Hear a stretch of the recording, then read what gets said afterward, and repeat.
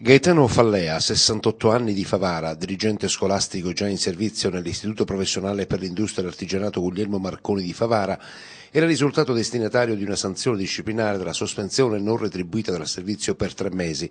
ma il giudice del lavoro di Agrigento, accogliendo il ricorso presentato dagli avvocati Girolamo Rubino e Massimiliano Valenza, aveva dichiarato la nullità della sanzione disciplinare irrogata e condannato il Ministero dell'Istruzione a corrispondere al ricorrente il trattamento retributivo per il periodo di sospensione dal servizio, nonché la somma di 2.500 euro a titolo di risarcimento danno per il mancato espletamento delle funzioni di Presidente della Commissione giudicatrice degli esami di Stato con conseguente condanna del Ministero anche al pagamento delle spese giudiziali liquidate in 4.133 euro oltre accessori.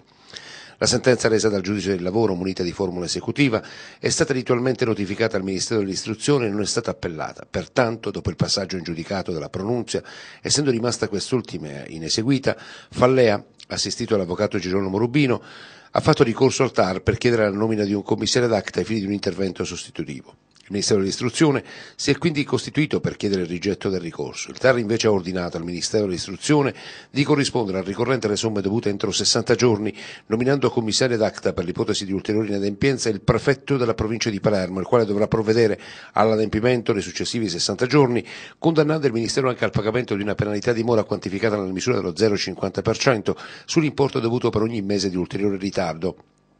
e condannando infine il Ministero anche al pagamento delle spese processuali inerenti al giudizio di ottemperanza liquidate in 500 euro oltre accessori. Pertanto, se il Ministero dell'Istruzione non corrisponderà al preside favarese le somme dovute per effetto della sentenza entro 60 giorni, il prefetto della provincia di Palermo si insedierà al Ministero dell'Istruzione quale commissario d'acta nominato dal TAR Sicilia per esecuzione della sentenza.